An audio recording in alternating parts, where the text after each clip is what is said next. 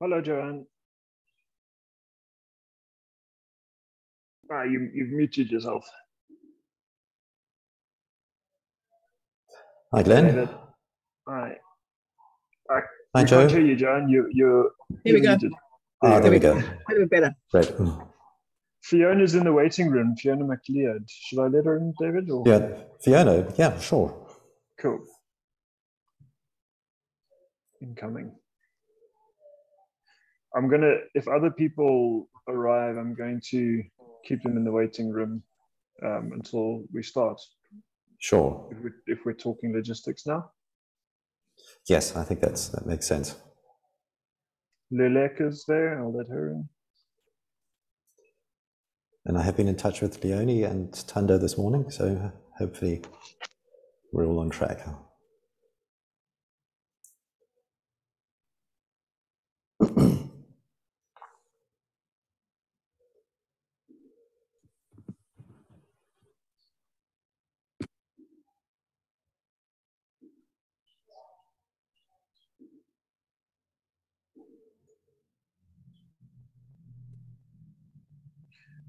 Uh,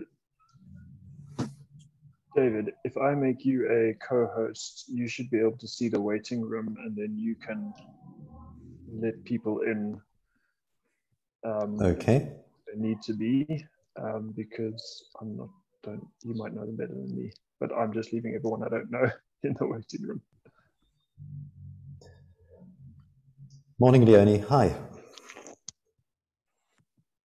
And I'm going to make all the speakers co-hosts. Is that right? Great. That's fine. Yes. I'm going to just get my headphones.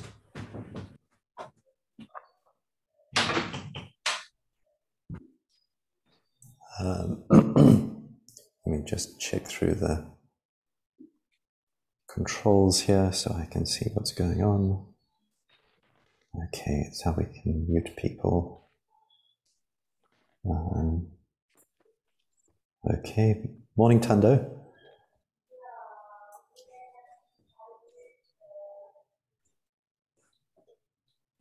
Um, I'm going to tr- try for the meantime just sharing my slides to ensure that I still know how to do that in Zoom. um, there we go.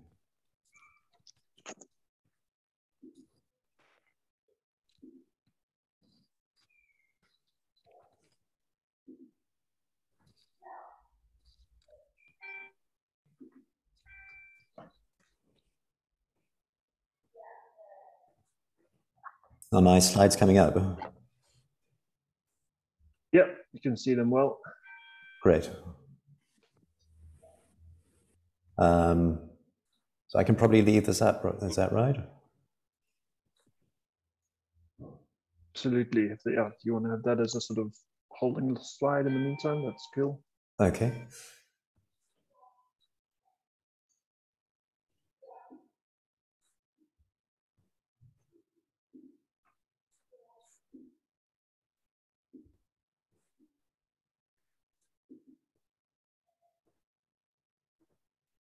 David, I don't know if you want to drop the link to the guide in the chat while we're sort of introducing people or as we're getting started, or whether you want to rather do that later. Um, I think let's do well. Let, we can do that. Um, let's yeah, let's do that right now. Well, people only see it after the. If you drop it in before they join, they won't see it. So maybe once. Okay, right. Or on on the call once we're getting started.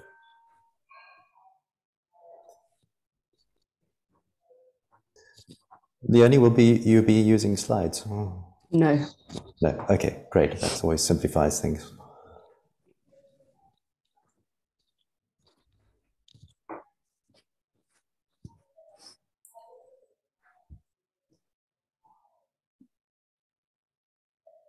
David, do we have a timekeeper?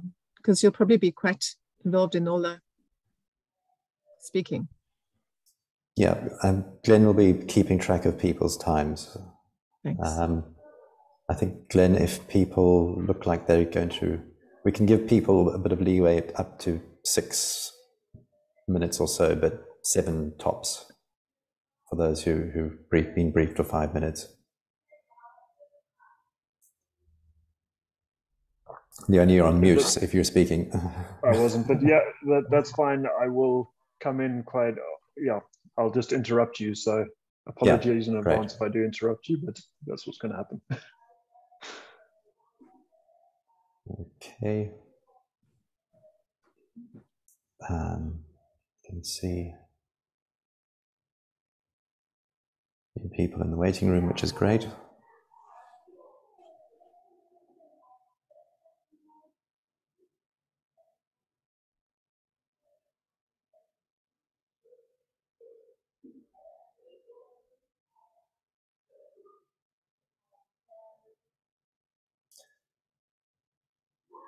Michelle, hi, good morning.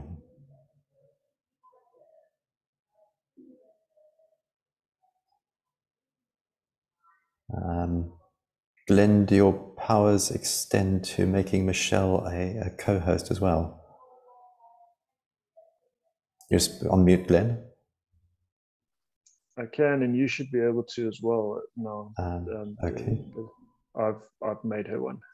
Right. I can. See, I don't seem to be able to make add other people make other people co-hosts. Oh, okay. Yeah, but great. Thank you. Cool.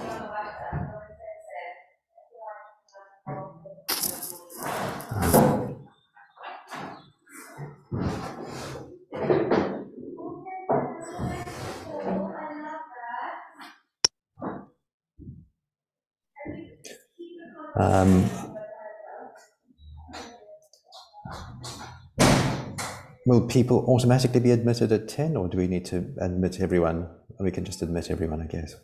Yeah, we can just yeah. click admit all and get going. Great. Um, I'll let Stephen in now. I'm just thinking um, it might be a good idea to have the live transcription on, uh, just so I can have some notes to refer back to. Um, yeah, is that something you know how to yeah, I've, set? I've requested it because um, I, I ah, it's on. Thank you. Oh, great. Lovely to see you again, Joe.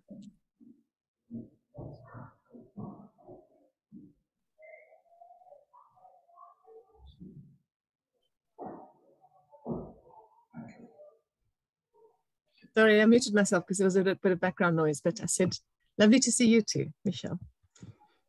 I thought as much. mm-hmm.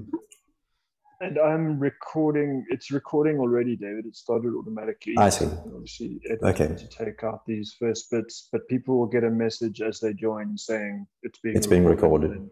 Great. Just say okay to that. So that's all happening.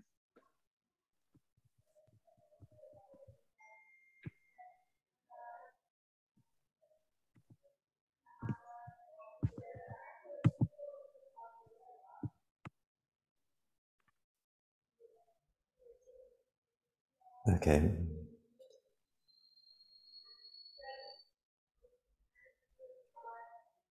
Ready to go when you are.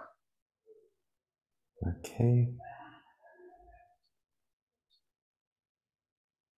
I'm just going to wait until the, the dot of 11 and then admit everyone who's waiting.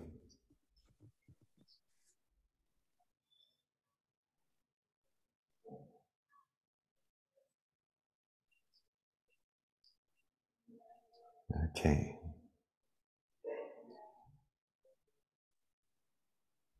Let's give people a couple more seconds to join. And will you keep admitting them after 11 as well, David? Yes. Michelle, could I ask you for help with that? Yes, yes. Um, Great. I'm happy to do that. So Great, thank you. Just, yeah, I'll do all okay. of the stuff. We'll admit everyone else right now. So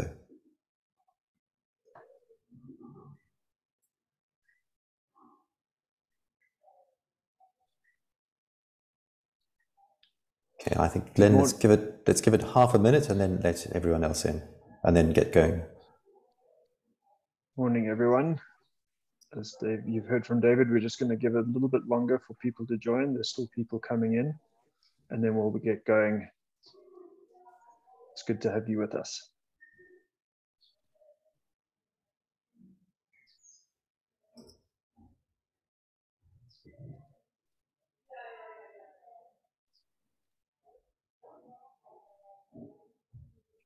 Okay, it's a minute past, so we'll get going with some pleasantries, and then hopefully by the time we get into the um, real part of the presentations this morning, everyone will be in the room with us. So thank you for all of you who've um, joined us. We're really grateful to having you here today for this launch of the, uh, the media guide from Fossil Free South Africa. My name is Glenn Tyler Davies. I'm the South African team leader for 350africa.org. And um, David from Fossil Free South Africa has asked me to moderate today, so I'll be with you um, throughout the course of events over the next hour. We'd like you to ask you to turn on your cameras um, if you're able to at the beginning, just for these introductions, just so we can see who else is on the call um, and get a sense for who is in the room virtually. And we'd also like you to introduce yourself in the chat if possible. So if you could please put your names and affiliations in the chat, that would be a great um, start. Again, just so we know who's in the room um, and have a sense of who's with us today. So you can do that, just your name and affiliation in the chat, that would be great. We are recording the event, and when you joined, you should have got a, a click uh, through that you had to do to say that we're recording it. So just to uh, let you know that we are recording it. That's primarily for our own records. Um, we will put parts of the um, session today online, but mostly just the individual speaker presentations. Um, so that will what that's what we're primarily recording for. Just at the at the start, I'm going to talk a little bit about the um, event and what we'll be going through today. Um, and thank you for those of you who are already um, putting your names and affiliations in the chat. For those of you that are still joining, please continue to put your name and affiliation in the chat so we've got a sense of who's with us today. Once we're done with these brief introductions, I'm going to hand over to Tun, uh, Thando Lukuko, um, who will be offering a civil society perspective on climate change in the media and the media briefing. Then to David LePage of Fossil Free South Africa, who will outline the context of the climate reporting guide and briefly, briefly run through the guide itself. We'll then hear from Luleka Dlamini of the University of Cape Town Climate Lab, um, who will address the emerging methane crisis, something that I think we've all heard a lot about, anybody who's paying attention to climate change. Then we'll turn to Leonie Joubert, who will be talking about the role of narrative journalism in climate reporting. And then finally, Joanne Smitheram of Fossil Free South Africa will make a few remarks about the development of the guide itself. We will have some time at the end for questions and answers. So we'll ask you to please keep your questions until the end of the session, until all the speakers have spoken. Um, and we'll have time then to ask individual speakers their questions, but we won't pause in between the presentations. We're aiming to wrap up the meeting at 11.55. Um, however, you will be welcome to stay on and if you have further questions or any other points you'd like to discuss uh, following the end of the call, you're welcome to do that. So with that said, just for those who've arrived while I've been giving an introduction, please introduce yourself in the chat with your name and affiliation. We're going to kick off and speakers, I will try and keep you to time as much as possible. I'm going to start by introducing Thando Lukuko, the network node coordinator for the South African Climate Action Network. SACAN is part of the Climate Action Network, a worldwide network of over 1,300 NGOs in over 130 countries. Thando, if I can hand over to you now. Uh, thanks, Glenn. Could you please confirm if you can hear me? Yes, I can hear you well. Go ahead. Oh, wonderful. Thank you. Uh, good morning, everyone. Uh, and thank you to the organizers for um, giving me an opportunity. And then thank you as well for everyone for joining us. As Glenn has said, my name is Thando Lukuko. I'm the coordinator of SA CAN for short. Um, and really uh, my, my input as, as, as it is outlined is just, just on the status, I guess, of climate change and climate change reporting in South Africa from a civil society perspective. And really, I think from uh, off the blocks, we could say there's certainly a lot more climate change reporting happening more frequently and more recently than there has been over the last few years and decades, and and that has to be commended. Um, and and so for that we we appreciate it.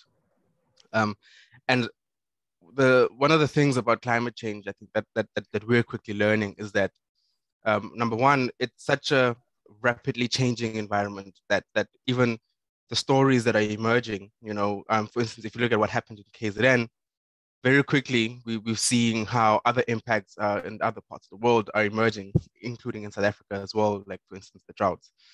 What um, we don't see happen uh, enough uh, is trying to get a proper understanding or clear understanding of, of what, at least from a factual perspective, what, what, what is happening, um, and also what is, uh, how it relates to particularly uh, the communities that are impacted by this, how civil society um, is, is, is, is working with those most impacted to try and uh, alleviate some of those challenges, um, as compared to then uh, uh, uh what's called a, a, business as usual type of case. Now, from, from our perspective, um, if we take some very, very specific examples, uh, this week there was a, a story which came out. Uh, I, am not going to mention any specific publications, but just to say there was a briefing that came out um, from one of our colleagues uh, in, in the business unity, and it spoke about the, the carbon tax issue.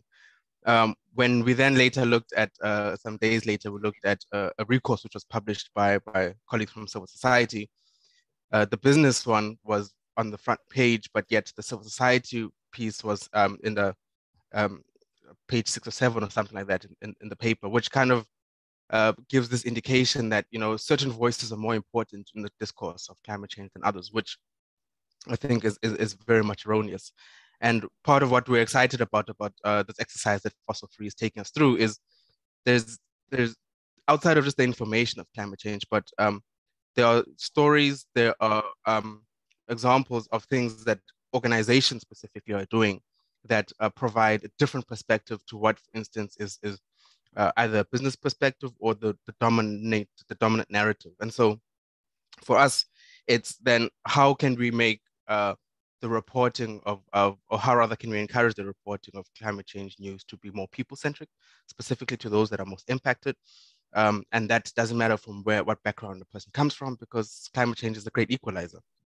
And so, yeah, there, there, there isn't a lot, I don't have a great deal of time, but just to say the last thing for us outside of then just making sure that the stories are, are, are captured correctly is then also to say, um, you know, there's there's there's uh, communities, there are people that are doing quite a great deal of good work out there that their stories might not be as palatable, might not be as um, juicy, if you if I can use those terms, as some other stories. Because I've, I've come to understand. I mean, I'm not a media person, but I understand a little bit that certain stories sell uh, more than others. And, and really what we're trying to do is trying to move the needle from the stories which are uh, on the extreme right of what is um, considered um, newsworthy and move that line a little bit more to the center so that we can get a wider girth of stories that are more impacted by climate change and, and make it more appealing to the everyday person. Um, so, so this would be um, what we would share as, as some touch points uh, and then also always just just just referring back to, and i have seen it happening more and more frequently, always referring back to the organizations uh, such as 350, such as Fossil Free, such as SACAN, who are the uh, knowledgeable um, ones uh, in, in the space outside of just uh, those from business and the private sector specifically. Uh, yeah, I think I think let me end there for now for the sake of time, but I shall remain on for, for any questions if there will be. thanks, Glenn. Thanks, David. Thanks very much, Thando. And if you've just joined us, if you wouldn't mind dropping your name and affiliation in the chat, that would be great. Thank you for those of you who have already. I'm going to hand over now to David from Fossil Free South Africa. David, over to you. Good morning, everyone. Um, I'm David LePage. I'm the coordinator of Fossil Free South Africa, as, you, as you've heard. Thanks very much for joining us today. It's great to have so many people in, in this meeting, and uh, we hope that you'll find it interesting and, and worthwhile use of your time. A brief introduction to Fossil Free South Africa. We're a campaign for fossil fuel divestment. We've been going for nine years.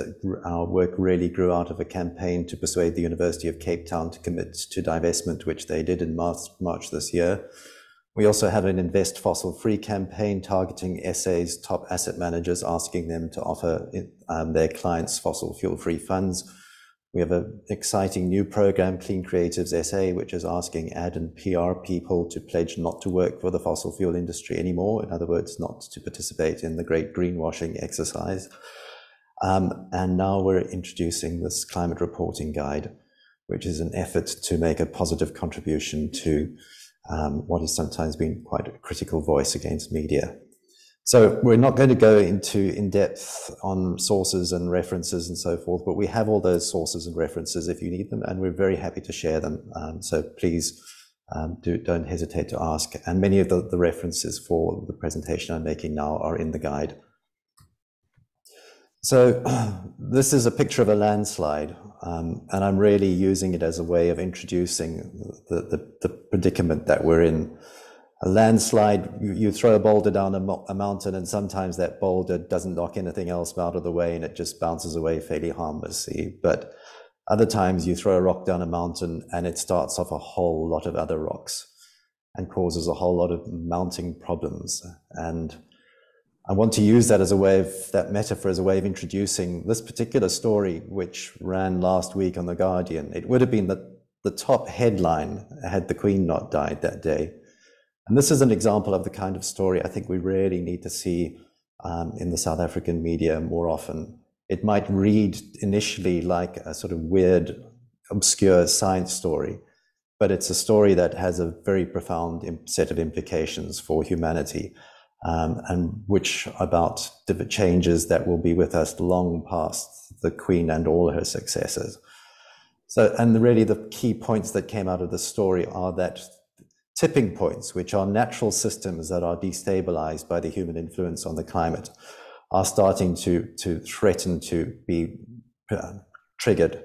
And these include the, the collapse of Greenland's ice cap, which would eventually produce huge amounts of sea level rise, the collapse of key currents in the North Atlantic Ocean, which produce a stable climate for much of Northern Europe and, and Northern European agriculture, and another tipping, potential tipping point is the melting of carbon-rich permafrost in the, in the Arctic.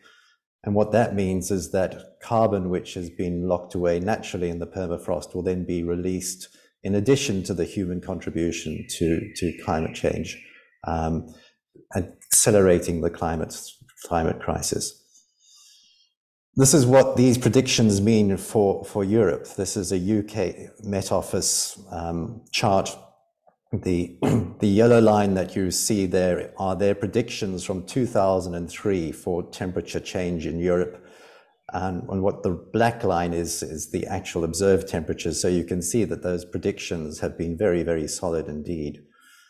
Um, so this is a very fast growing crisis.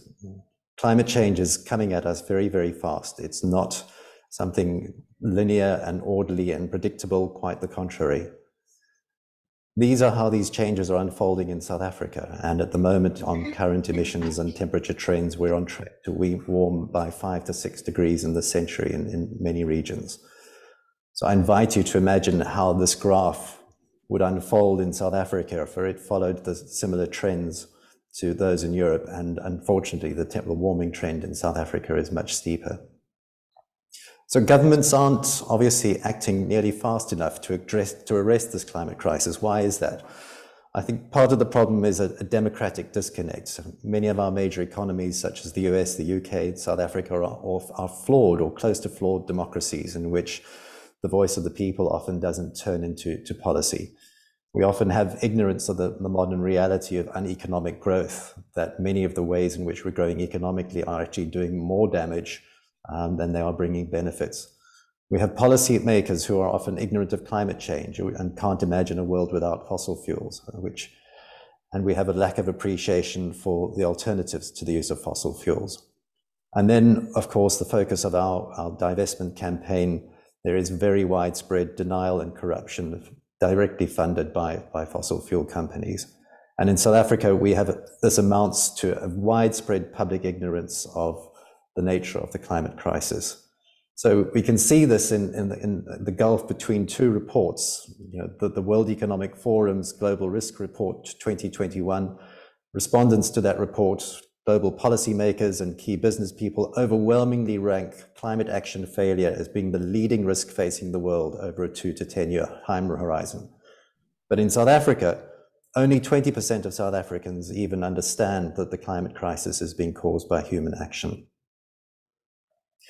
So, as the UN Secretary General says, we seem to be trapped in a world where fossil fuel producers and companies have humanity by the throat. For decades, the fossil fuel industry invested heavily in pseudoscience and public relations with a false narrative to minimize their responsibility for climate change. Because, of course, the emissions from the fossil fuel industry remain the leading sort cause of, of global climate change. So this all adds up to some key myths and assumptions that I think are pervasive in South Africa. For example, the idea that protecting the environment is an expensive luxury, whereas the environment is in fact the only real foundation for our economy and for our society. The myth that climate change will be slow and predictable and we still have time to fix it. Unfortunately, as I've mentioned, it's disorderly and accelerating. And to fix it, or to at least slow it to the degree that we need to, we need to have very dramatic emissions cuts of greenhouse gases of 50% by 2030. Another myth is that the, not necessarily a myth, but a kind of distorted assumption is this notion of net zero by 2050. Unfortunately, a lot of the net zero plans put out real emissions cuts far too late. And as I've just mentioned, we need to have those emissions cuts in those decade, in this decade. And if we get that 50%, then the, the, the rest will largely take care of it itself. And then in South Africa, I think another key myth is the, the idea that our people are poor, and which of course many people are, and they, they need the jobs from the fossil fuel industry. Unfortunately, the emissions of the fossil fuel industry also destroyed jobs around the world. We're talking about an extractive economic model that has been failing us for, for far too long in South Africa, and it's not going to suddenly fix our very real problems of poverty and inequality now. Um, and then another key myth, I think, is the idea that developing countries can act later, that there's some benefit to still sticking with, with fossil fuels. That, that, that time is now past as well. Unfortunately, despite their rhetoric, the world's largest oil and gas companies are failing to back their words and pledges on climate change, and they're still spending an enormous amount of money on lobbying and dis- distorting the climate t- debate. Um, to go back to the damage that's caused by, by fossil fuels, just to give one example very close to home, Sasol, if you look at the social cost of carbon, that's the damage done by a single ton of carbon when added to the atmosphere the gulf between Sasol's earnings is absolutely, and the, the amount of damage done by their emissions is absolutely staggering. So in 2018, for example, we see they had 10 billion in earnings and did three trillion damage rands, three trillion rands worth of um, damage to the global climate. These numbers are almost impossible to believe, but they are, are they are well founded. So the guide that I'm going to run through in a moment was written by myself and my colleague Joanne Smitheram, we are journalists who have worked in South Africa for a combined 40 years. We intend this to make a, a constructive and helpful contribution to human rights journalism, really. Um, and that says, which should bring us back to our responsibilities in the media, uh, should refer always, I think, to our National Bill of Rights and the right to have an environment that is not harmful to our health and or well-being, and that is preserved for future generations. I think another touchstone for us in this work should be the, the, the South African Press Code of Conduct, um, which says that the media exists to serve society, that news should be presented in context and without material emissions, um, to make some key points from that code relating to this work. So, getting climate journalism right, I think, is a balance of, a, of some four key factors firstly, having accurate content that reflect the facts and qualified expert opinion, having accurate context, ensuring that the climate issue is, re is reported in, in stories on, on natural disasters, in stories on agriculture and fossil fuels, for example, wherever there is a potential role for climate, even if we don't necessarily understand exactly what that role is, um, that role should be noted. We need appropriate editorial presentation all too often, still climate stories are reported on, which is great, uh, but then they're pushed into particular silos, put away in environment sections, and don't nearly often enough make it into the headlines. And then, is there enough content? Um, I think Extinction Rebellion, um, with a protest earlier this year, captured that issue in the slogan "Climate News Every Day." Um, so I'm going to move now to the climate reporting guide itself and run you through that very quickly. Um, we start with an introduction talking about why, what and why South Africans need to know about the climate crisis. Can everybody see this, by the way? No, David, we just see a blank okay. screen at the moment. Okay, that's, let me check that that. Um,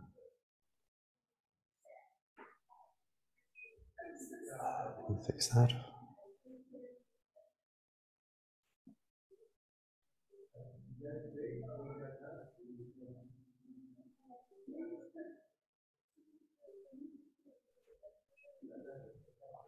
Think you I think you just to... have to. I think you just have to click on a different browser window.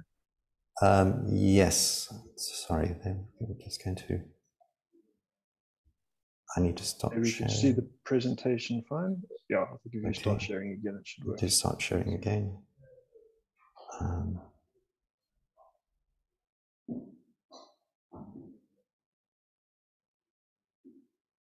okay, can we see that now? Yeah, that's good. Great. Apologies for that. So we talk about what South Africans need to know about the climate crisis, the problems and the opportunities, the causes of climate change. I think all too many people don't know the, the basic mechanisms of climate change yet. We talk about the climate crisis in South Africa, the particular impacts that we're seeing here. And we talk about our South African climate energy challenge, the challenge that comes with being one of the world's most fossil fuel intensive economies. We talk about the issue of whether we can still play catch up on the back of fossil fuels or whether the time for that has passed. Um, and we talk about the just transition and the issues of, of jobs. And then onto renewable energy, whether it's a viable and re potential replacement for our energy needs here in South Africa and the potential to, re to replace coal um, and the different paths and options that we, that we have. Then we go down to that's the context for for climate journalism in South Africa. Then we go to some specific suggestions for climate journalism in particular. So again, coming back to this issue of foregrounding the background. Um, I think as journalists and editors, we need to go out of our way to, to look for, for climate news and bring it into the foreground and make sure that it gets a, a higher level of coverage. We need to look at the terminology that we use. Climate change often suggests that climate change is neutral or benign. We need to talk about climate emergency and climate crisis far more often. Natural disaster reporting and reporting on the fossil fuel industry always needs to mention the climate context, even if we're not entirely certain what that precise context might be yet. Um, and then we should need to think imaginatively about integrating, for example, the climate context into weather reporting, like numbers such as the current global temperature increase, regional temperature increases can be reported alongside weather reports. We've got a case study on best practice from The Guardian, um, which started their climate journey in 2015 by actually divesting from fossil fuels, really taking responsibility there. Um, and then we look at so the flip side of some of these recommendations, some of the some of the errors that are, are still happening sometimes in our media.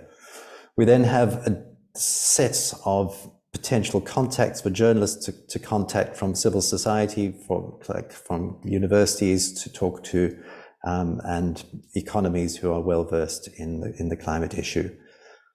And we also have a section called the deeper stories, looking at the underlying causes of and solutions for climate change. So obviously, the leading cause of climate change is our fossil fuel dominated energy system, but there are also other subsidiary causes, um, our extractive agri agricultural model, toxic social dynamics, tattered democracies, a profit led financial services sector.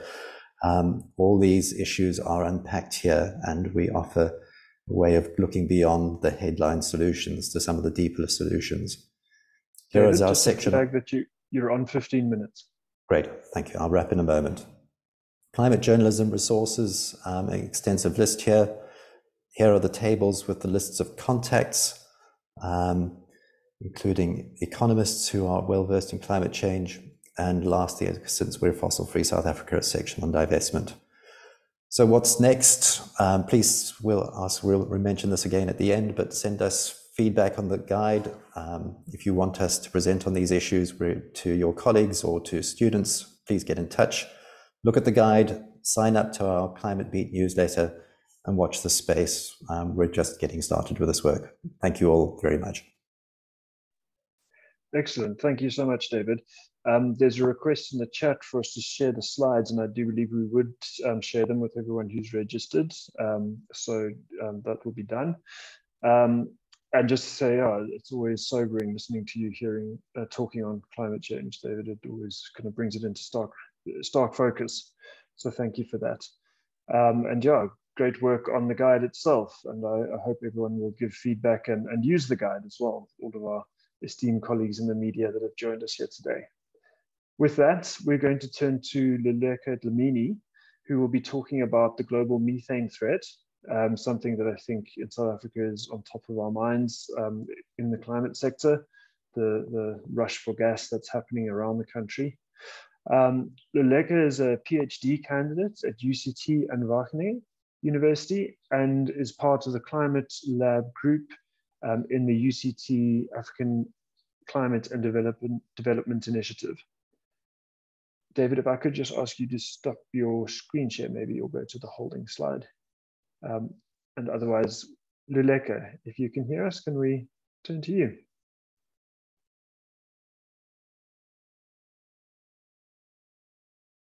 You hear me now? Uh, we can hear you, yes. Oh, no, sorry, you're on mute again, Luleka. Can you hear me now? Yes, we can hear you. Great. Uh, good morning, everyone.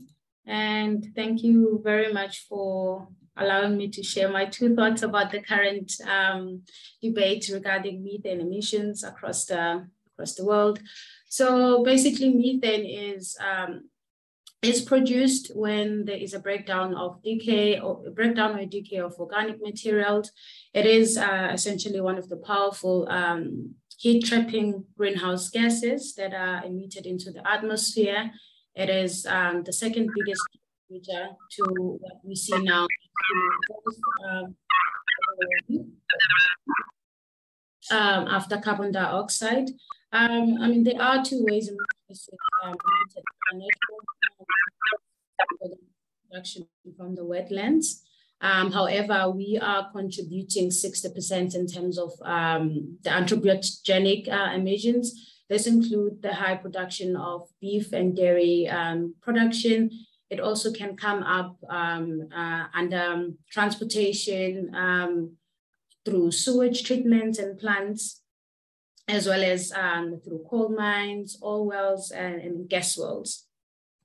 Um, there has been an annual increase in atmospheric um, methane, uh, particularly between 2020 and 2021. I guess that's where the debate is coming from because we had a lot of people working at home and so forth. But um, for example, in 2021, the, the, the amount of methane in the atmosphere was about 17,000 parts per billion, which is 15% higher than the average between 1984 and 2006. And uh, some of the, the studies that have been conducted are saying this is due to unexpected uh, and complex leakages of gas, as well as the, the, the, the ongoing wildfires that are occurring, are occurring at the moment, also maybe due to, to, to climate change already. Um, in general, the atmosphere does have the ability to remove methane as it has these detergents that are acting as cleaners of, of, of the air. However, with, for example, with the, with the increase in wildfires, these wildfires produce um, carbon monoxide, which then reacts with these um, detergents. So it slows down the actual removal of methane in the atmosphere in, um, instead of the natural, the natural way, and hence the, the increase that we're seeing at the moment. Um, there's also a debate between whether we should be focusing on removing methane or uh, just focusing on carbon dioxide. And that's, or the debate is also uh, including the fact that methane only stays in the air for about nine to 10 years, whereas carbon dioxide um, stays in the, air, in the air um, for, for years. And that's why we're saying whatever we're doing now will, will have an impact in the near future or thousand of years from now. Um, also, yes. I'm sorry to interrupt you. You're mm-hmm. currently sharing your slides in presenter view. Is it possible for you to share them um, in presenter mode? It just might be difficult for some people to read them. Um, I think I was presenting them in presenter mode. Um, so I, which screen are you sharing? We can still see the notes and and everything. Uh, so okay, let me just switch my. I need to switch my. Um, screen to yeah. Uh, is it better now? Go. Perfect. Yes. Thank you. Yeah. Um, I'm not sure what happened now. Okay, cool. so the yes, I was saying that the methane itself is has more power in terms of trapping the heat. However, it, it, the the resident time in the atmosphere is lower compared to um, CO2. So it CO2 does remain as the primary driver of um, human-induced climate change. With that said, it does not mean that we should not be um, lowering um, our methane emissions because if that goes unchecked, it will even have worse uh, um, implications for our climate altogether. So there is a need to, to, to, to reduce the methane production by maybe lowering our beef and dairy production, changing our farming um, practices as well, and also ensuring that we reduce the amount of um, seepages that we see from our, our landfills and our fossil fuel extraction um, processes. Um, yeah, thank you so much. Great, thank you so much, Luleka, and apologies for the, the interruption, but it was great to be able to see that last slide up close. Thanks very much for that um, take on methane and the, the science behind it. Very much appreciated. We're now going to um, turn to Leonie Joubert, um, and she will be talking about the importance of narrative journalism in climate reporting. Leonie is one of South Africa's most experienced science, write, science writers and the author of 10 books, a specialist in climate, food security, and pollution, and who's most recently done extensive reporting for National Geographic. And Luleka, if I could just ask you to um, end your screen share just before we switch over to Leonie. But Leonie, if you can hear us, over to you.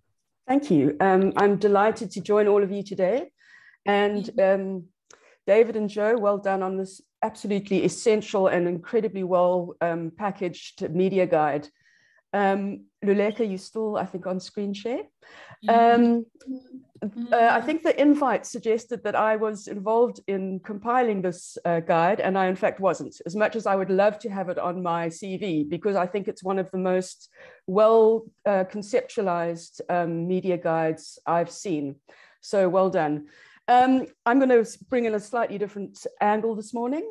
Um, there's something that happens with astronauts when they leave Earth's atmosphere and they turn back and they look at Earth and they see the, this pale blue dot. Um, and they have a, a, a, sense of consciousness shifting where they realize that this tiny little dot in space is our only home. This is our home. And uh, this, this awakening actually even has a name. It's called the overview effect. And uh, it's a, a, very powerful way to um, remind us uh, where we fit in this planetary system. And uh, it's used widely by environmentalists to, to demonstrate the kind of shift in value system that we need um, as we confront this incredible existential threat. So what does the overview effect and astronauts have to do with journalism? Um, human beings have uh, a number of superpowers, and one of those superpowers is storytelling. Um, storytelling is a very uh, potent technology. Um, it's something we've been doing longer than we've even had the written words to tell stories. And this is where journalism fits in to the process of using storytelling to create a collective overview effect. Because obviously we can't all go out into space and experience Earth from a distance. Um, storytellers, whether they are fiction writers, non-fiction writers, um, whether it's theatre, the visual arts, sculpture, whatever, we all have a way to use the, the power of storytelling to shift consciousness, to change our value systems, and then to change the kind of world we create. So where is journalism within all of this? Um, you know, the fourth estate, it's called the fourth estate for a, a, a fundamental reason. We are, journalism is absolutely central to keeping a healthy society together.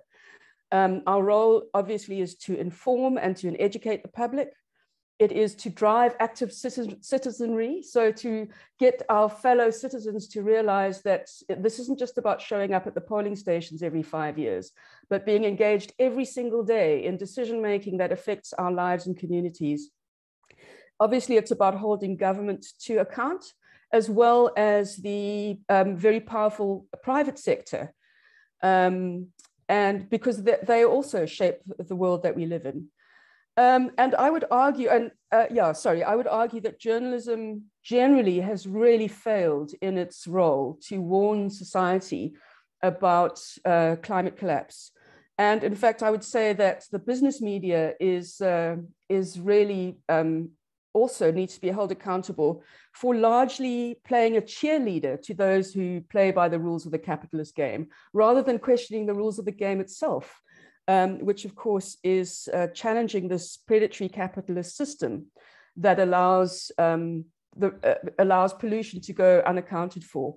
So um, that I think is one of the important things that comes through in, in David and Joe's guide is a is a, a stronger call for a systems critique from journalism. But um, uh, so where does narrative journalism fit into all of this? Um, narrative journalism is often seen as an indulgence because it's, it's often quite long. Um, it takes a long time to research. It takes up a lot of space. Um, and obviously it's not suited to certain sort of platforms. But this is why narrative journalism is, is such a powerful tool. Um, and obviously it's, it's only applicable to certain styles of storytelling. You know, if, you, if, you're, if you're writing a hard news piece, it's not appropriate. If you're writing an analysis piece, it's not appropriate but there is a space for it. And um, uh, this is why narrative journalism can be so powerful. And I guess what most of you will think of as narrative journalism is this call for journalism stories to put a human face to the climate crisis. And essentially, what that means is so human beings have got these mirror neurons in our brains. And it's a basic survival mechanism. It's the way we have evolved as a, as a social primate um, and basically, it means when I see you in your context, when I recognize that you are feeling hunger or fear, when I can see in your face that you're experiencing joy or love or a sense of connection, the mirror neurons in my brain kick in and I start to feel what you feel. That's why putting a human face to a climate story um, can drag someone, yank someone out of their own little echo chamber of experience and allow them to see what this situation context means for another person. And I would argue in this context that we, we need to be doing this not just to put a human face to the story, but in order to shift our value system to, to also reflect in our stories the more than human uh, species that are experiencing climate collapse. I'll give you a little example. One of the stories I did recently for National Geographic was on the African penguin. So the African penguin is the only penguin species indigenous to the African continent. Most of the, the, the, habitat is in Namibian and South African waters.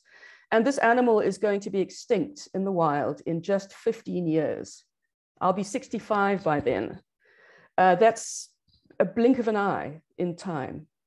And it, I know sometimes when, when so many people around us are struggling with poverty, with hunger, with uh, job insecurity, etc., it's hard to remember or see the value of the African penguin. But the African penguin is not just a cute little animal that inspires soft toys. Um, the value of the animal is not in whether it brings economic or revenue to the country. Um, this bird is a, a, a keystone predator within our marine ecosystem. And if it's dying out, it means that the entire system is on the brink of collapse. And the marine system along our coastline is essential to all of us. It regulates our climate, it brings food onto the table, it gives jobs, and um, it creates biodiversity. Um, it's absolutely essential. So, so the loss of this animal uh, is, is flagging a much bigger systems level collapse. So how do you, how do you put a, a, a empathetic, recognizable face onto the story? Um, there was um, a mass evacuation of penguins recently from Bird Island because um, about 100 chicks were found starving to death. And the, the story is essentially that the, the parents are going off into the sea looking for food for themselves to fatten up after um, uh, raising the chicks and then to take food back to their chicks. And there just isn't any food. They can't get to the food either because climate changes in the water, temperature changes are moving the fish elsewhere. They're competing with uh, big ships that are uh, disrupting the, the routes, and um, they're competing with the fishing industry. So these birds are starving. Now, if we can tell a story that helps the reader understand what it feels like to be that distressed as a parent, because we know what it feels like to feel hunger, we know what it feels like to feel distress uh, around our family. Um, and this is this is part of the, the broader awakening to drag us out of our own little comfort zone and realize the wider implications that our behavior and our citizenry has on the broader planet. Um, so storytelling is really one of the best ways to do that. Um, I'm going to wrap up now by just saying that we have a 10 year window in which to radically alter value systems, the economy, the politics, the way we do absolutely everything. And we need to be doing it in a way where we're working with each other collaboratively and empathetically. We're not just these individualistic, um, self seeking individuals in the capitalist system human beings are so successful as a social being because we are actually also cooperative. And it's these empathetic brains that make us able to work like that. Some of the stories we have to tell are about the fact that hell, some people are already experiencing hell on earth. Um, millions of people going hungry in Somalia right now. Beira almost wiped off the map, map by Cyclone Idai um, this terrible El Nino driven drought across Southern Africa, causing animals to die and people to lose their livelihoods. We have one decade in which to radically, radically alter everything around us. That's 10 birthdays. That's 130 full moons. Thank you. Thank you very much, Leonie. Thank you for that.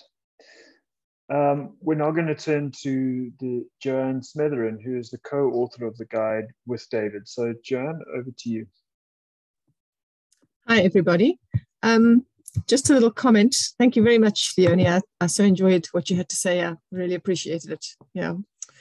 Um, just a little note on the guide that it was a real collaborative um, effort. We, David and I wrote it, but we got a lot of input from other NPOs and a lot of lot of input from scientists, all of which we incorporated.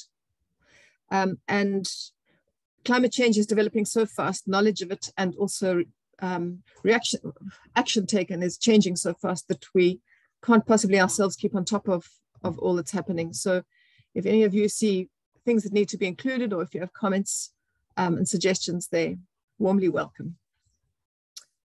Thank you very much. Great. Thank you so much, Joanne. So thank you to all of our speakers for your for your great contributions. We now have about um, 10 minutes for questions and answers. So um, please uh, feel free to uh, put up your hand and we'll call on you. It would be lovely to hear your voice, but you're also welcome to put a question in the chat if you would like, and we'll try and keep track of those as well.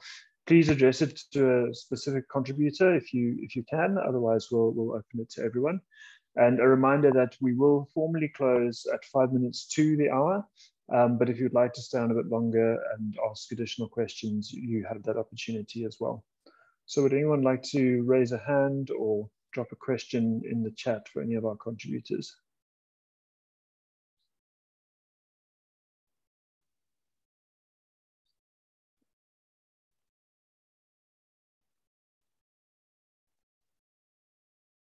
Hi, Liani. Um, thanks for coming off video mute as well. And if you come off mute and ask your question. Good morning, everyone. Thank you so, so, so much for this um, guide. I think it's going to be incredibly useful, not just to journalists, but to documentary filmmakers and fiction filmmakers. Um, I, I work predominantly in the documentary field uh, in impact producing. And I think that this is going to be incredibly useful because the field of impact producing is all about designing strategies that get the right messages to the right people in the right ways to effect change. And this is going to help us to get the messages on track and to make sure that we're communicating in the right way. So thank you, thank you, thank you. Great, thank you, Liani. Maxine, you have your hand up. Um, and just uh, I should have mentioned it earlier, but please try and keep your um, questions to about 30 seconds if possible, just so we can give everyone a chance. But over to you, Maxine. Um, thank you so much um, for arranging this and for the guide. Um, you know, I was I was thinking about like uh, how how do we how do we get it through to people who don't really care about climate change, you know? And um, I thought about um, a few years ago when the city of Cape Town was going through a drought and the city kept um, giving out press releases and saying you, you need to reduce your water usage and whatever. Like it just wasn't changing. But then um, when they started talking about day zero, by March we won't have water and whatever, like people then immediately started changing their, their, their habits. Um, so I think this guide will also like really help in that sense, you know, um, in how to bring out the urgency and how to make people see that this is affecting me as well, you know, tell the stories and yeah, so thank you for that. Great, thank you, Maxine. Mickey, you have your hand up. Hi, yes, just to echo, a huge thank you. Um, and to say, I mean, this is a question I don't direct it to anyone specific, so whoever would like to jump in. Something that I grapple with often when you do read journalism um, articles and you hear stories that that are linked to climate action, climate crisis, it, it's some sometimes so overwhelming that it becomes debilitating. And how does one make it such, make that communication land so that people feel empowered to take action and to address the situation?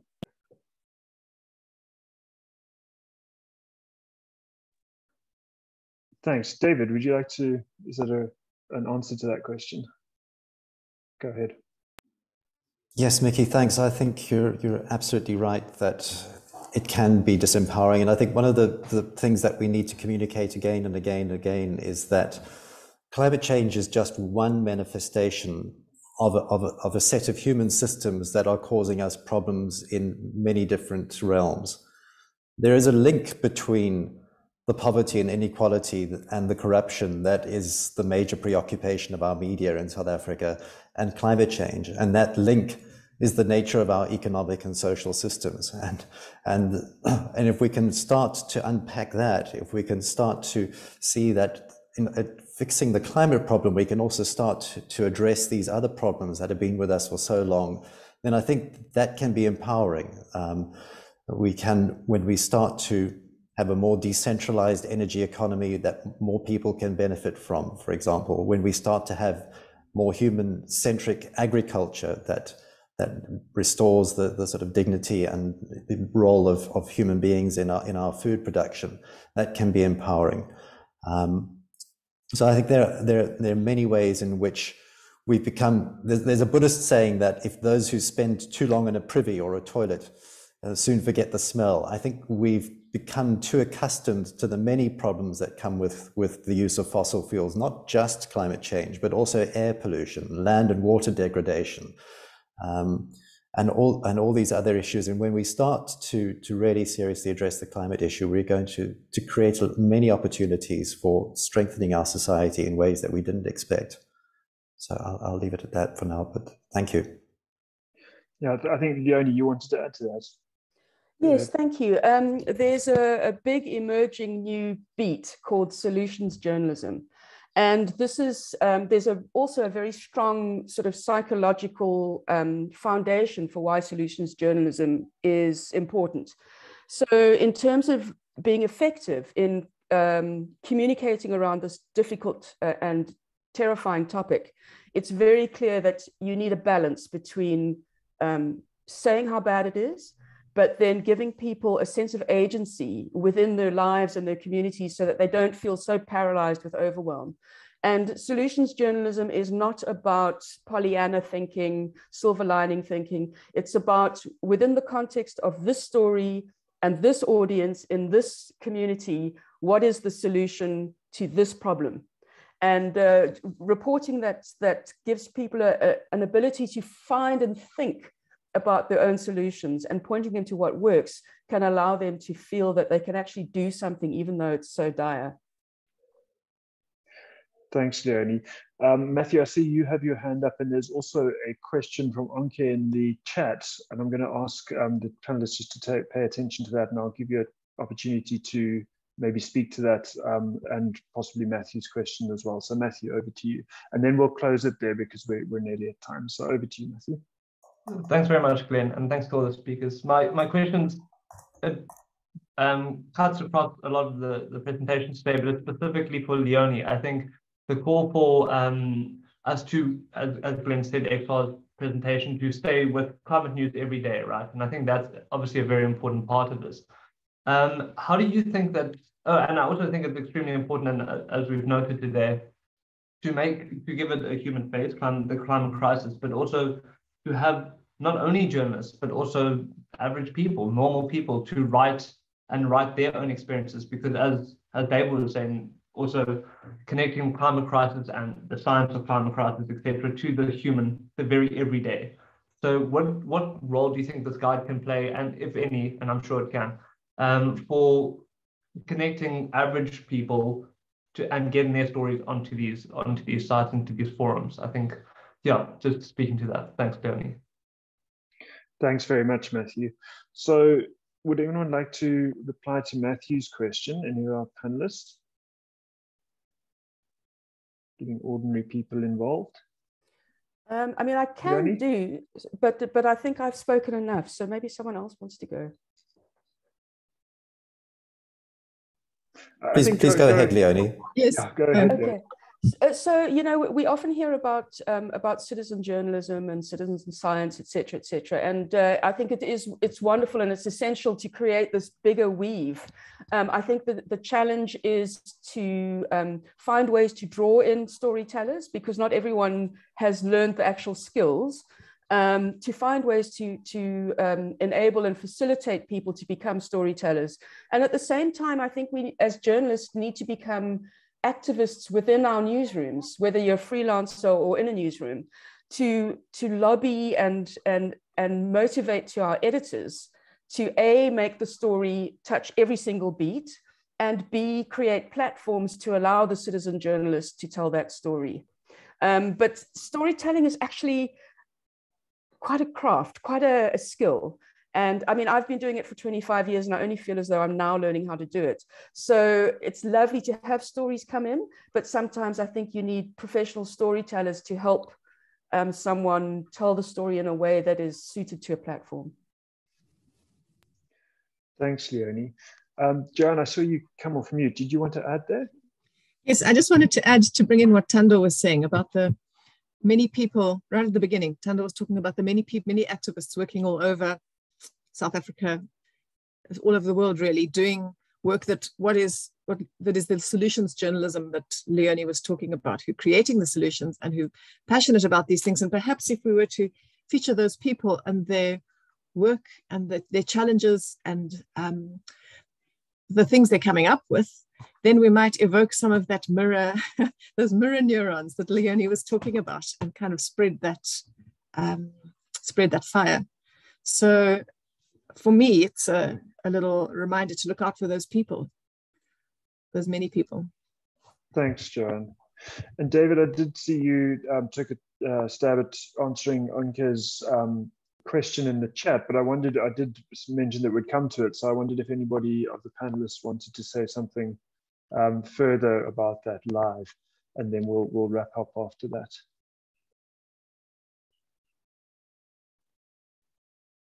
Um, I just I would just say that if if you take a look at the guide and take a look at some of the underlying where we, where we unpack the underlying causes of climate change, I think that section of the guide gives you a, a sort of way of unpacking accountability for this crisis, and we can use that um, that section to hopefully illuminate some of the causes. I mean, I like to say often that we we um, we overestimate the role that technology has to to play in in resolving this crisis. Technology, of course, is absolutely essential. We need to change the, the fundamental energy technology that is is driving our world, and need to make, move to sustainable forms of energy. But the actual blockage, the reason why we're not implementing that technology at the, at the speed that we need to at the moment, is because of really a lack of democracy in, in many instances. And so the, the, the, real technology that we need to solve this crisis is, is human technology, social technology. We need informed, empowered, active citizens who are lobbying for the changes that we need in our energy system and in other parts of our economy to really push for these these changes at the speed that we need. We need people who need know the, the, the, these issues inside out, working very hard and very fast on, on them. I hope that helps a bit. Thank you, David. So that brings us to the end. Thanks to, for all of you who have stayed so long. Um, David did put in the chat, and maybe David, you could just drop it in again so it's fresh for everyone. Some ways to engage with us beyond this conversation. Um, as we mentioned at the beginning, if you would like to engage with any of the presenters, we will stay on after the end of the call if you'd like to ask additional questions. Um, but thank you again so much. Um, with that, I'm going to hand over to David to just uh, wrap us up with some closing remarks. Thanks, David.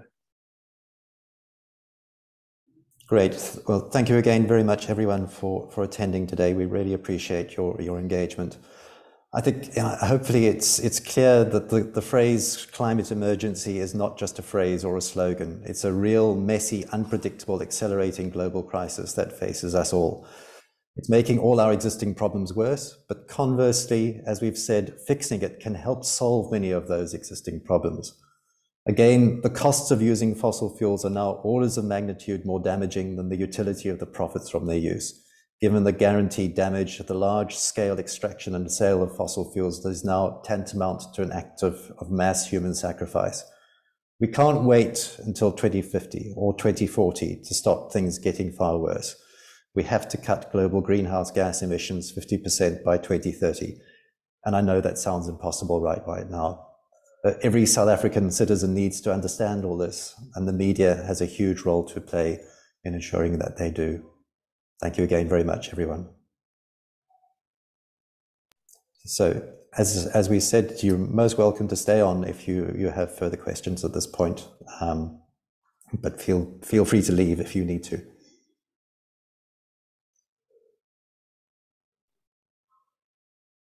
Great. Thank you, everyone. Um, if anyone is staying on and would like to ask additional uh, questions, perhaps you can continue to drop them in the chat if you would like. And again, encourage you if you can to come off mute and ask your questions live. I think that would yeah. be great. Yanni, over to you. I think you had your, your hand up. First, but I, I have had an opportunity to speak, so maybe Jackie should go first. Go for it, Jackie. Hi. Um, so I'm new to all of this. I'm recent, I'm a social worker by training, a mom of three kids, and absolutely devastated by all of this. So I've recently joined um, an activist group called Extinction Rebellion, and I've been with them since about March. Um, and I was just wondering if there was advice you would give to activist groups in engaging with media and how we can be more effective um, yeah, any any thoughts around that? Because I feel like there are people who wanting to to be those citizen activists, but um, we didn't have much training. We have some people in the in the movement who have journalist experience, but a lot of us are just ordinary people. So would love some thoughts on that. Thanks, Jackie. David, would you like to? Yes, sure, Jackie. I, th- I think that's a very good point, actually. Um, and I mean, we've we are activists ourselves, but we've also been approaching this very much as journalists. Um, I think one key point is is kind of understanding the, the pressures that journalists are very often under, and it's and it's understanding those pressures in a way that's driven us to create this this guide to try and make it easier for journalists to do a good job, because we know that most journalists really want to do a good job uh, of reporting these issues, but there are significant structural and historic constraints on them, making it making it hard. So, um, I think understanding you know, the, the pressures that journalists are under, trying to get journalists accurate information, comprehensive information in a neatly packaged form, um, trying to understand that journalists need to sell their stories to editors very often and trying to, to find ways of making them interesting or, or unique. Um, yeah, that can, that can be helpful. Um, but maybe there's, a, there's, maybe there's an additional section that we need to, to add to the guide, which is um, how to how to make things easier for journalists. And yeah, thank you for your question. I hope that helps a bit. Thanks, David. I did just want to come back to Akhona's question that you asked in the chat, and apologies, Akorna, I, I missed it earlier as we were ending off.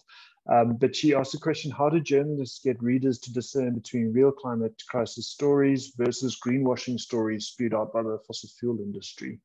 Um, uh, it's a tricky question, but I wonder if anyone had insights into that. I'll take a quick stab at that. Um, I think really the key thing is is people need to know more. The, these things are complex, and sometimes you will have a, a, a, company that is doing good things and bad things at the same time. And to really understand what is good and what is bad, you have to understand the balance between those things. Um, so Sasol, for example, does do some renewable energy. Um, it does have research money going into renewable energy. Unfortunately, that that and that research might well pay off at a, at a, at a, at a if it was scaled up. Unfortunately, at the moment, it's vastly the value of that research is vastly outweighed by by their continued large scale emissions. And often, the way that fossil fuel industry greenwashing works is that they look at the good parts of their operations, which are the very small parts, and they expand those massively in their marketing and then just ignore all the, all the bad stuff. Um, it's a very simple formula, and I think it's quite easy to communicate that formula to the public so that they can see how that's working. Thanks, David. Uh, I'm not seeing any other. Um, Leonie, do you want to reply to this? Because there is another question. You, yeah, just very briefly, I think also to, to answer Corner's question, you know, um, it is sometimes very difficult to, to drill down really deeply to know what's true and what's not true and what's fuzzy. And I think one of the most important things you can have is a, is a, a list of experts who are uh, critical thinkers, who are well informed in a subject, who, when you get stuck, you can phone them and say, help me understand these figures, help me understand these claims.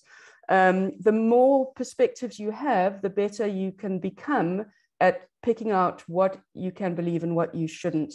Um, but it requires years of networking and and yeah, just building up those those experts that you can call on. Great. Just a reminder that we've started to build those lists at the, at the at the end of the guide. So if you, as a journalist, you need to find the right people to talk to, um, those lists are there, and and we're going to expand them. Hmm. Thanks. Um, Liani, you um, had a follow-up question. Can I, you did ask it to me in the chat, but if I can ask you to say it out loud, it's always nice to hear different voices. Oh, thank you. Um, Leonie answered the question that I posed before uh, wonderfully. Thank you, Leonie. And I just wanted to ask whether any of the other panelists had a call to action that, that we as creatives can amplify to the general public, possibly something that can tell us what we can do as ordinary people to put pressure on policymakers to make an actual change.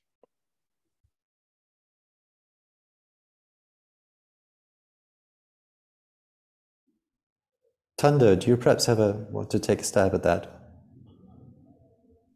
I think Thando left the call. Oh, I see. Okay. Yeah. Um, Joanne, do you, did you want to say something? You're, you're muted, Joan. We can't hear you. newsrooms need to think of clever, journalists and news editors need to think of clever ways of packaging climate change so that people can feel it, um, digest it, and make a difference. And I don't know what those are. Um, when someone was previously talking about day zero, that was such a clear little um, graspable caption. And climate breakdown means everything falling apart. It's so huge. Um, people have talked about how, how overwhelming it is. So how do we how do we make campaigns that are graspable and that people can do something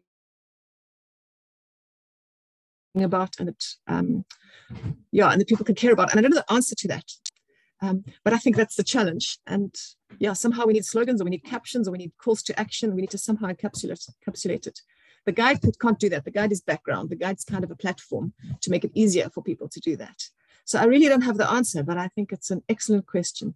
And until um, until we can fi find ways of approaching that in a creative way that people can get can kind of latch onto I think it's going to be carry on being a huge challenge to make climate journalism mainstream. Well, I, I, can add to that. Um, I mean, I think one of the, the, the, key ways is, I mean, we don't have in, in many ways a, a, particularly strong representative democracy. It's very hard in South Africa to go and talk to your MP because it's next to impossible to find out who your representative MP is. But I think what we do need to do increasingly is to speak to politicians, whether it's at, at a local government level or a national government level, whether whatever party they're from, speak to politicians, tell them that these, these issues are important to you. Speak to people of influence in business. We don't have visible climate leadership in South Africa. We don't have CEOs who are standing up and saying, these issues are of critical importance to the future of this country and we can't afford to neglect them anymore. Um, we don't have that kind of visible social leadership. Um, and to the extent that we have leadership from within government, it's very often ambiguous. We have one department saying, wanting to do one thing, and another department, I'm sure I don't need to spell out which departments I'm referring to, um, going in a completely different di direction. So we really need that, that high level, visible social leadership from politicians of all parties, um, from and from social leaders, from priests, from teachers, from principals, from university um, vice chancellors. We need far more of, of that kind of, of leadership. Um, ordinary people in positions of influence standing up and telling everybody else that they take these issues seriously and, and, and we all need to, to work on, together on them. Does that go some way, Liani, towards answering your question? Um, yes, it certainly does. It certainly does. And I think that um, bringing together Leonie's suggestions about um, accessing individual audiences through emotion and knowing who it is that we need to speak to that that's the key to getting messages across. And like literally literary journalism um, film and television are incredibly powerful platforms to reach audiences. In south africa more than 50% of the population well that was a 2015 study um, still uh, consume content on um, terrestrial broadcasts. So sabc and etv are incredibly powerful the you know there are millions of people watching soap operas. How do we get climate change messages into those spaces? Mm. And just as a note trying when we were trying to send out invitations for this guide the, the broadcast media are the most inaccessible and to to try and reach it's almost impossible to find out how to reach people in those in those forums in those institutions. Leonie, you had your hand up patiently. Thanks. So I wanted to just, uh, you know, Leonie, your question is so difficult to answer in such a short space, but um, what I think has to become central in the, what we communicate is the power dynamics within society that allows um, this mass polluting, polluting of the atmosphere. So what we need to show the world is that particularly these really big multinationals have often have more power over our political system than we as the voting public do. And I think that's what comes through well in George Monbiot's writing. Um, obviously, you know, each one of us as a storyteller in a different genre have to figure out how we apply our unique skills to telling that story. But I mean, a, a brief comparison would be if you look at the multinational food industry and big sugar, um, a lot of these multinationals have way, way, way more power to shape the, a country level policy around food and sugar than the voting public do. And the voting public often doesn't know that. So let's say um, uh, McDonald's wants to move into Mozambique uh, or Lesotho and get access to new markets. The government's um, policymakers have uh, are very, very easily kind of overwhelmed by the legal potency of this multinational. So if we can show those power dynamics, which are often invisible to ordinary people, you know, we need to move away from selling this narrative that a few well-meaning individuals are going to clean up beach pollution, you know, recycle, not drive so much. That's not how we change the system. We need to educate people about how the system works. So if we as storytellers can understand how the system works, and then we take our own unique skill as a storyteller, whether you're writing a soap option, a soap opera script, or whether you're writing a, a, a novel, um, find a way to use your unique skill to then inform your reader or your viewer about the injustice of this predatory capitalist system. No easy task. Thanks, Leonie. I'm not seeing any further hands or questions at the moment. Um, so, Luleka, thank you again very much for participating. Um, are there any other last questions or points that people would like to raise um, before we close? Liani, thanks for sharing your, your Story Lab link. That's fantastic. We'll um, be in touch. now that we've met you and we have your contact details. Thanks again. Thank you again, Liani. Okay. I'm not seeing any further questions. So at this point, I think we can close the meeting, um, but we will definitely be hearing from us again. Thank you all very much. Have a lovely day and a great weekend. And let's cut global emissions 50% by 2030 somehow. Cheerio, everyone. Thank you.